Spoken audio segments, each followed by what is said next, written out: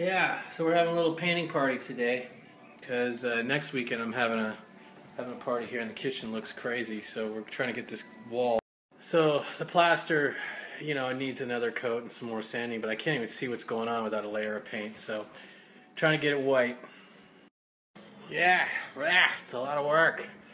But there's, you know, this is white. The ceiling over here, we're white. It's coming together.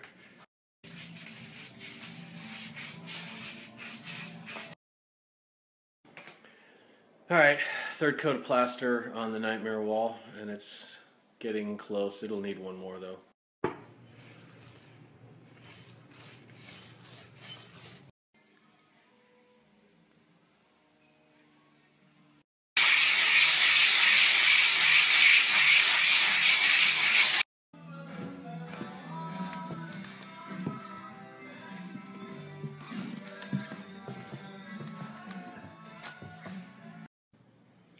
All right, you know, got it painted out. It's looking a little more like a kitchen now. I popped in this cabinet just for a dry fit to make sure that I positioned the uh, the power outlet properly. Everything seems to be working. Power's on. Check this. Whoa! Oh yeah. So I still got to build the drawers for this thing, and then there's going to be a butcher block countertop on this, and then we're knocking out these tiles over here. I'm going to do butcher block on that as well. The subway tiles that are above the, uh, stove are going to be right above this as well, so they'll be kind of sympathetic to each other. And then over on the wall with a sink here, I've got this uh, light fixture. This thing's going to get replaced, and then this is going to get replaced.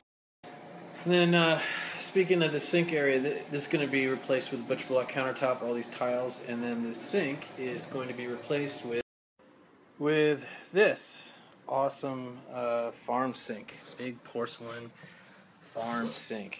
Yeah. Hey, uh, you guys want to do some beekeeping? Because there's some uh, there's some bees right there that, that need some keeping. A little bit of smoke. Man, this hive is kind of jamming now. I mean, it's just there's a lot of bees in here. It was just three frames of brood, basically. So that that's just a bunch of babies, but haven't been born yet, and uh, and then one queen, and then a, a few tired ass bees that I threw in here. Thing is, uh, yeah, it's really feeling alive now. I'm pretty I'm pretty happy because it was pretty bleak about three four weeks ago. So that right there is a uh, is a frame of uh, uncapped honey. What we have here is a combination of capped and uncapped uh, brood or babies. So you can see the little larva in there, and after nine days, it gets capped. The brood is in the middle, but on the edges and on the tops here, that's where they that's where they keep the honey on the lower frames. There's the babies. There's some super solid brood pattern here. Basically, they're just they're filling in all of the little the little uh, hexagons with babies. I'm seeing a lot of pollen collection, which is their protein. The honey is their carb. They put it together and make something called bee bread, so it's looking good in here. There's just not a lot blooming around here, so I'm having to feed them. So this is half uh, sugar and half water. And that gets poured right into this little feeder frame here, and they can run in there. These little ladders, and they crawl around, and then they can go and get some food. And that's it. I'm not seeing any pests in here, no mites, no ants, nothing like that. I had three frames before, now I've got six, so things are going good.